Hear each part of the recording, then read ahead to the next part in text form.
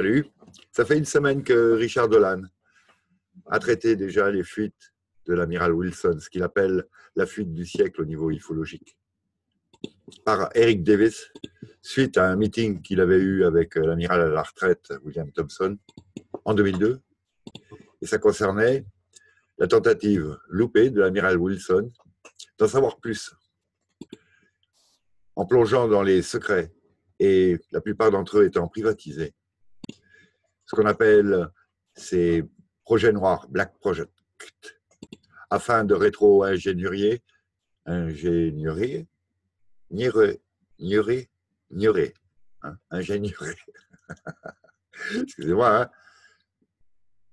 Des technologies aliens, quand même. Faut le savoir. Hmm. Des technologies qui sont notées, pas faites par la main de l'homme. Donc, a priori, pas d'origine humaine non plus. J'ai dit a priori, hein, parce qu'on ne sait jamais. Mais bon, logiquement, avec ce qu'on en sait, ben, c'est justement pour ça que je dis euh, a priori. Parce qu'il y a quand même la breakaway civilization, là. Hein. Puis si elle, a, si des hybrides qui sont sous intelligence artificielle, mot à mot parlant, ça n'a pas été fait par la main de l'homme. bon, je reprends, je reprends. Il y a quand même des gens bien placés qui disent que tout ça, c'est de la désinfo.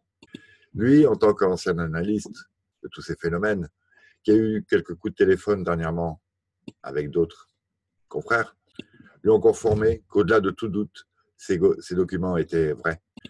L'un d'entre eux a même confirmé, comme moi, comme euh, Richard Dolan l'avait dit, qu'il était tombé sur des papiers hautement classifiés il y a beaucoup d'années de cela et qu'il savait que c'était des vrais. On ne doit pas être les deux seuls à avoir vu ces papiers. Évidemment, pour des raisons de carrière, de vie privée, peut-être de menaces, ils ne vont pas le confirmer. Mais on peut quand même citer Linda Moulton Hove, Melinda Leslie, Grant Cameron, White House UFO sur YouTube. Linda Moulton Hove, c'est earthfile.com ou earthfile sur YouTube. Et je ne connais pas le nom du site de Melinda Leslie. Il a même réussi à joindre une des personnes qui est liée de très près à cette fuite.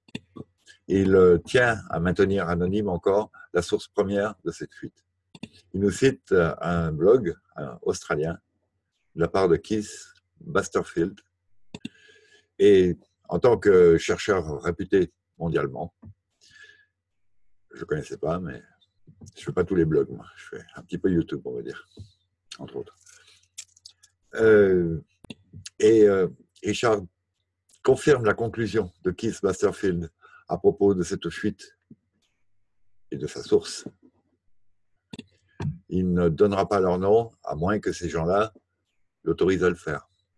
Toutefois, nous avons James Whitney, ici à l'écran, aussi un Australien. Comme il va être un peu trop long de lire la transcription de l'échange qu'il a eu avec lui, il va en laisser un lien sur son site richardolan.com. Mais en deux mots, on va en parler ici. Voici un papier dans lequel il admet avoir transmis ces mêmes papiers, la fuite, à d'autres personnes connues, dont Grant Cameron. Il y a quelques mois de cela, en novembre 2018. L'histoire ne dit pas si c'est le 17 novembre. On ne peut pas être beaucoup plus précis sur lui. Qu'est-ce qui est écrit là à l'écran? Il est dans le milieu ufologique en Australie. C'est un architecte. Il travaille dans un bureau d'architecture. S'y connaît en ufologie et en, vol aérien humain, dans l'histoire euh, géopolitique, euh, donc en fait l'exopolitique ufologique. Exopolitique. Il a participé avec James Fox quand ils ont tourné un film qui s'appelle euh, Phénomène, J'ai un visiteur fréquent aux États-Unis qui me dit, entre autres choses,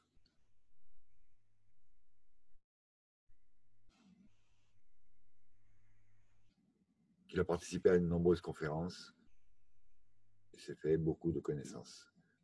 Aucun intérêt. Il peut nous dire qu'il a reçu ses documents en deux fois sur une période de 12 mois, à peu près, même plus. Qui signifie qu'on va avoir énormément de mal à remonter à sa source, à sa source s'il euh, y avait vraiment de l'importance à cela.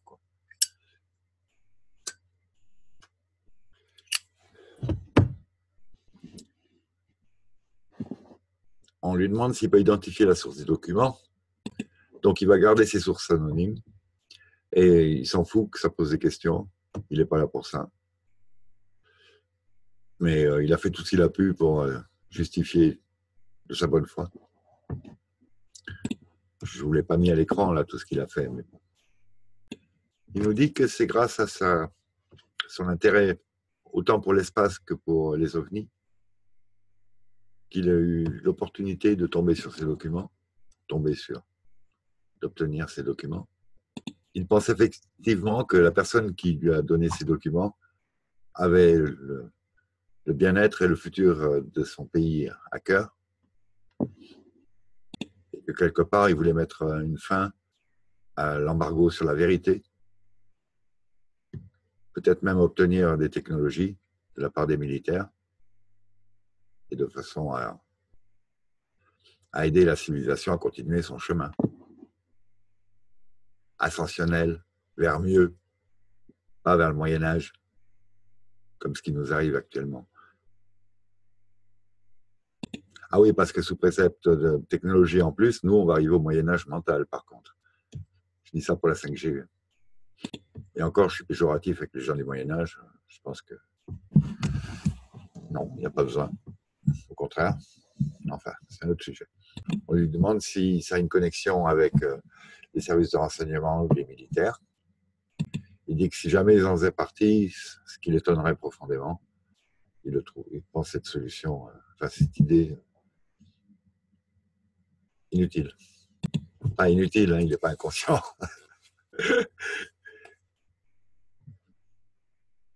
non, pour lui, ils n'en sont pas. Est-ce que ces documents auraient pu être une escroquerie ou de la désinformation? Est-ce que vous pouvez prouver le contraire? Est-ce que ça aurait pu être l'amiral Wilson qui fasse des fuites euh, de désinfos globalement, il dit euh, ben non. Pour tout le reste, les gens sont impeccables. Est-ce que vous avez touché d'autres documents?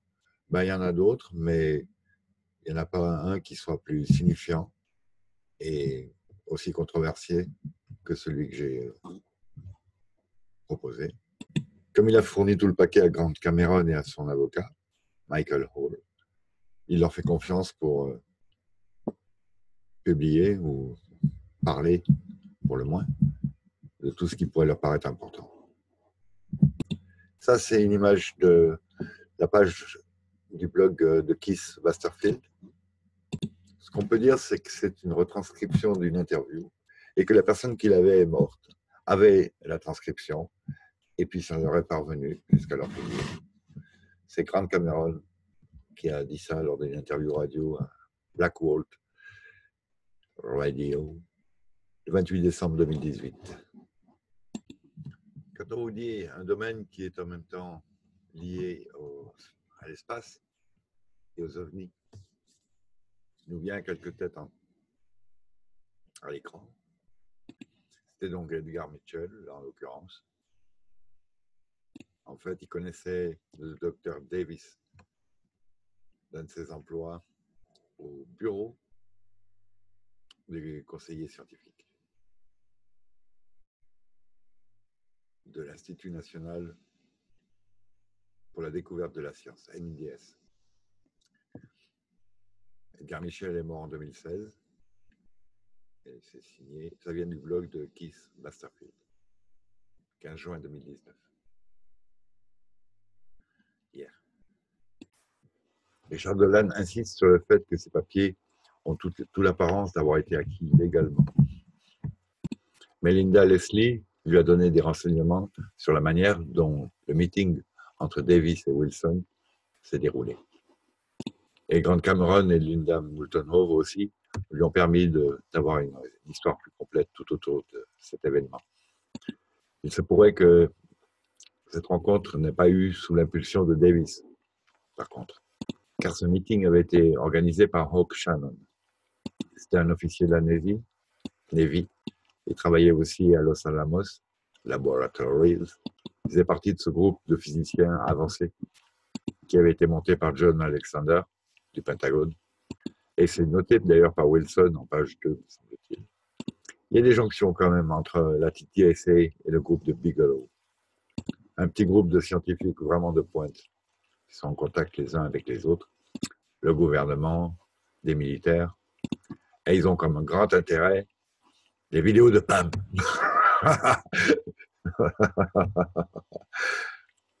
les ovnis, ils ont comme grand intérêt l'exopolitique. Le phénomène ufologique. La plupart du temps, tout ce qu'ils euh, apprennent, ils le gardent pour eux. Ils savent communiquer avec délicatesse de façon à ne pas rompre leur euh, contrat de confiance. Ils pensent que nombreux d'entre eux sont ceux qui désirent faire au moins une soft disclosure, donc une révélation progressive, douce. Oak Shannon fait partie de ce team. Hal Puthoff aussi. Kate Green aussi. Et Edgar Mitchell, entre autres. En 97, Stephen Greer sa collègue Cheryl Dagnac ont pris contact avec Miller et Edgar Michel, Wilson, le général Patthews et Mike Crawford. Entre autres, hein. ça c'est quelques-uns. C'est à l'époque où Stephen Greer était très actif, en train de contacter, d'essayer de contacter des gens au pouvoir à Washington. Il veut la disclosure depuis un moment, euh, Stephen Greer. Donc, à la fin de ce meeting, Miller a eu une conversation avec Wilson.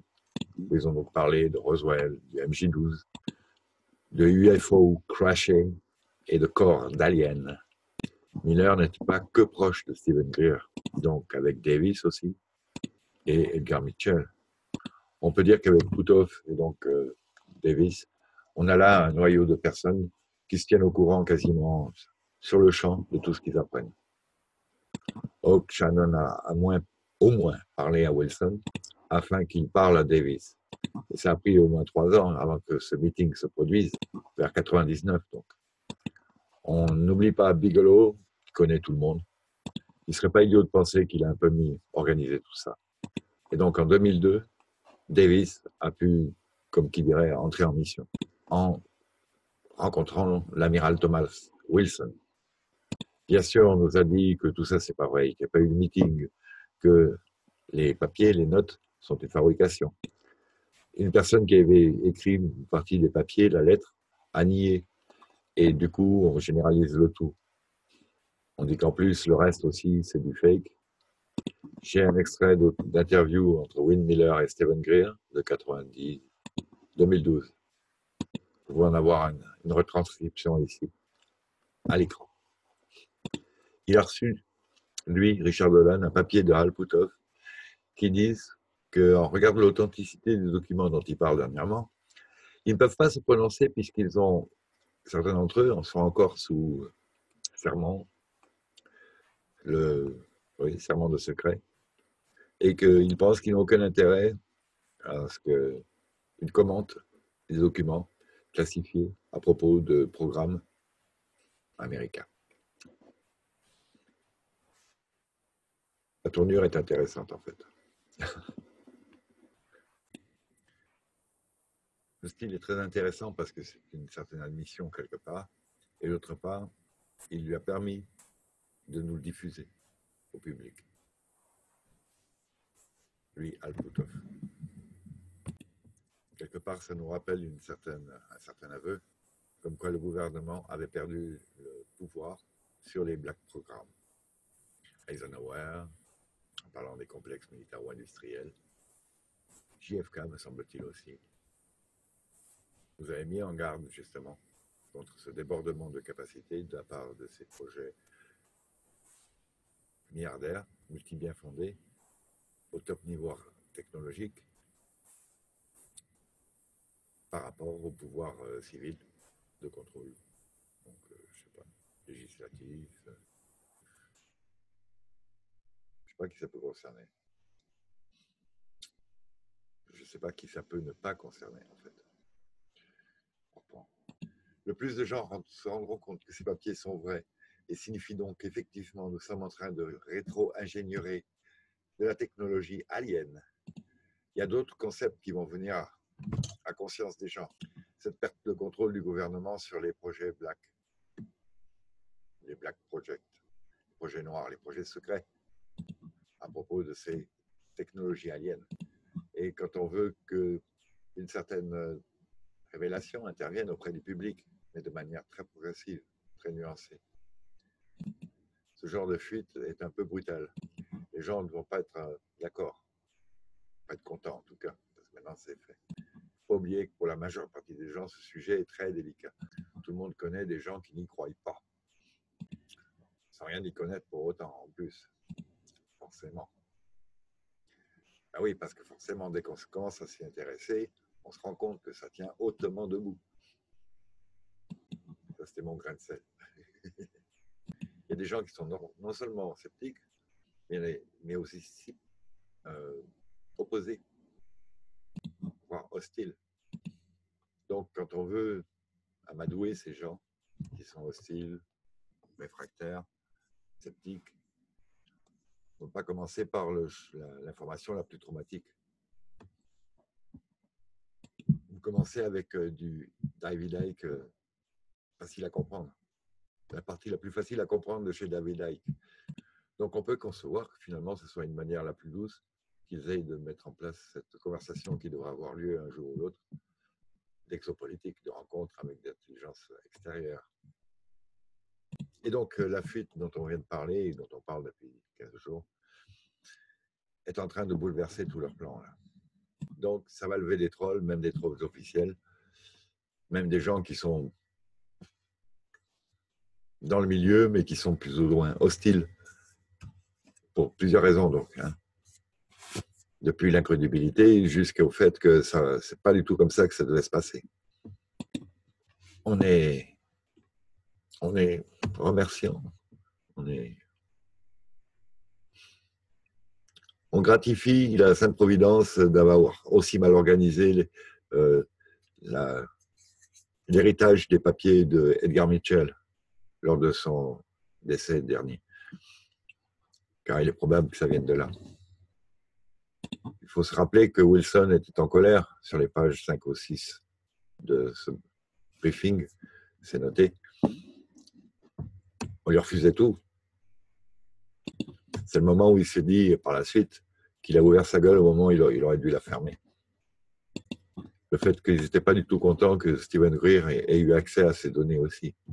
Il avait accusé Miller d'avoir brisé une certaine camaraderie entre officiers. Il estime que nous avons là une occasion d'étudier des documents réels, d'en déduire ce qui les conclusions qu'il s'en tirera, qu'il qu'il faudra. Ce qu'on a déjà fait, hein, mais bon, là on a des preuves. on peut mettre des petites croix. Ça, c'est confirmé, ça, c'est confirmé, ça, c'est confirmé on n'arrête pas d'avoir des vues de 3, TR3B aussi. Hein. Alors, on peut nier que le TR3B soit capable de fendre de grandes portions de banquise au laser, mais on ne peut pas nier qu'au-dessus des incendies de Californie et d'ailleurs, on ait repéré des rayons verts et bleus qui tombaient du ciel, un petit peu comme des lasers. Hein. Ah oui, oui, oui. Et que ça a provoqué des incendies à des températures telles que ça fait fondre des alliages qui d'habitude ne fondent pas dans les incendies de feu de bois. Hein. C'est la pièce que d'habitude vous mettez dans le feu et puis ça la nettoie d'autres métaux qui fondent à plus basse température, des plastiques, peinture. Je suppose. Hein. Moi, je suis pas une fonderie. C'est comme ça que je récupère les clous. Je fais brûler le bois et sans avoir besoin de détendre les clous, je les ai. Après, il faut les retremper. Alors, on les remet dans le feu.